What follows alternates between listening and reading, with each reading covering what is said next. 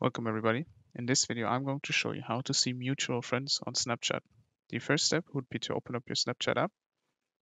In here, you want to click your uh, profile icon or Bitmoji in the top left corner next to the magnifying glass to open up your profile. And in here, you want to scroll down until you see friends. As you can see here, friends, add friends. That's what we want. Click add friends at the top.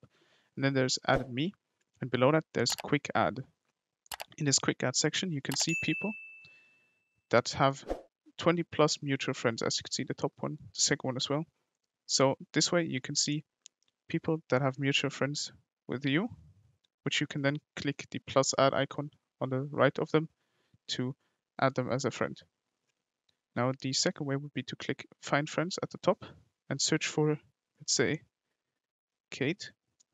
And in this section, it says add friends with the name Kate in it. And if they were to have mutual friends or friends in common with you, it would say below their name. You can then go ahead and add them using the add button on the right. That way, you can add people that you are mutual friends with and add them on Snapchat. I hope this video could help you out. If it did, please leave a like. If you have any questions, leave them in the comments below and subscribe. I'll see you in the next one. Bye.